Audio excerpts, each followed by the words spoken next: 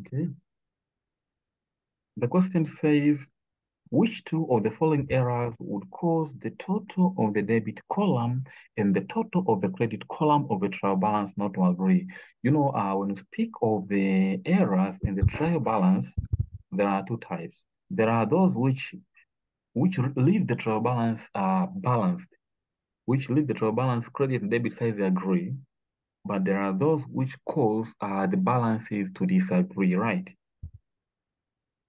Yeah. So here uh, we are told, we are asked on which of the following errors would cause the total debit and total credit column of the trial balance not to agree. Actually, before going any further, you can just learn one thing. You can just learn that, uh, you know, I have the debit side and I have the credit side. Why not agree? Why not? Why not agreeing? Why? What is the reason? You know, the first reason could be maybe one side entries. One, one side entry. You put entry on one side, another side being left, another side left. So if you put entries on one side and the other side you do not put anything at all, obviously the trial balance won't count, won't balance because uh, you would have made double counting, right? But also you could say two entries because when speaking of double entry, mean that we mean that we have entered both on both sides twice. So maybe two entries, two entries made on one side. You debit, maybe you, you make credit sales, and so you expect to debit trade receivables and maybe credit sales, but you end up doing the same thing. You debit trade receivables, but also debit sales, and so that's a problem. But also, it could be entering different figures, right? Different figures, because when you speak of double entry, it means that uh, the same figures should be used. Now you have used different figures. So obviously the trial balance won't, won't agree. So uh, we are told to study down here and then decide on the reason uh, for the trial balance not to agree. Okay, so what would be the reason for it not to agree? Okay, number one, for number one, we are told that a transposition error was made when entering a sales invoice into a sales daybook. You do know the sales daybook? Yeah, the one that we record credit sales. Yeah, we just record, but no double entry is done, right? And you know, when Yeah. when you're told of the transposition error is just like swapping, we have we swap the numbers. Instead of let's say 84, I write as 48, right? Yeah. So if you do that, actually, you know, that is before double entries.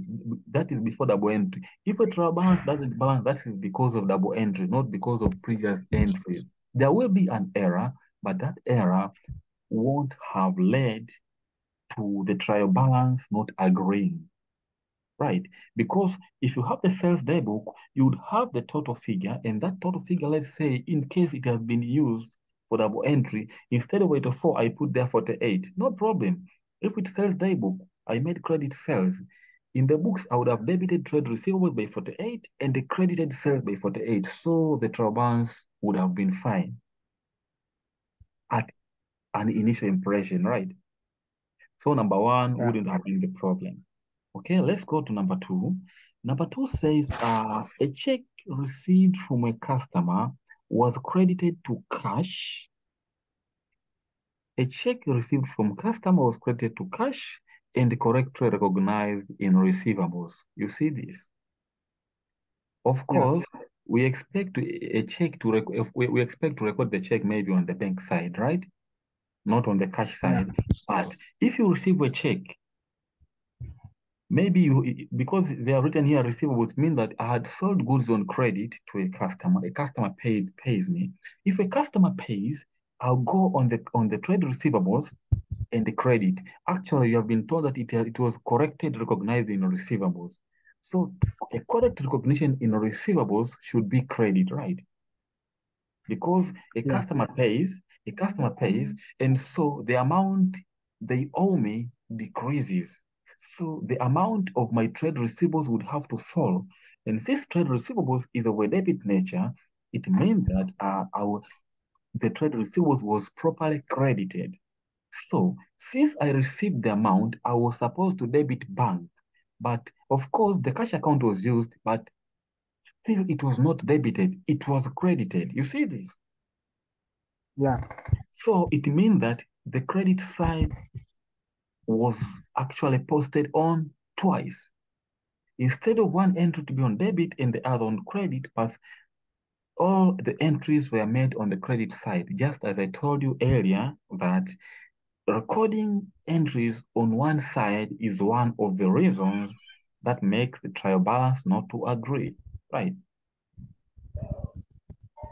So number two would definitely be one of the reasons uh, for the trial balance not to agree. Do you agree or not? Yes, I agree. Okay, now let's go to number three. Number three says a purchase of non-current assets was omitted from the accounting records. A purchase of non-current assets was omitted from there. now they are just saying from the accounting records. If it was omitted at all, right? That means because they are not specifying that maybe one side was affected, they are just saying that the purchase was omitted at all. If it was omitted at all, it means that both debit and credit side have been affected. So of course, those total figures would both have been decreased by the same amount, and so they would still look like agreeing, and they would really agree, although there would be an error that did not affect, that did not prevent the trial balance from agreeing. So it's no big deal. It, it didn't affect the books. All right. Number four says rent received was included in the trial balance as a debit balance. I think this should be the problem, right? Yeah. Rent received, you know, if you do receive rent, let me tell one thing. Sometimes when you encounter problems like this, just try to visualize something. Rent, we are speaking of rent received. If you are speaking of rent received, that means maybe you are the landlord, for example, right? You are the landlord and a tenant gives pays you rent. If a tenant pays you rent, that means they give you cash. So you receive cash. So you have to debit cash and then credit rent received is an income, right? You get that? Yes. sir. Yes. So debit cash or bank and then credit rent received. But here you are told that rent received was put as a debit balance. That means the debit entries were made twice. Right. Debit entries were made twice. So if they are made twice, you find that that's the problem. So the answer should be one and three. Right. Should be one three. All right. Uh, What? some someone is is here. here, here someone is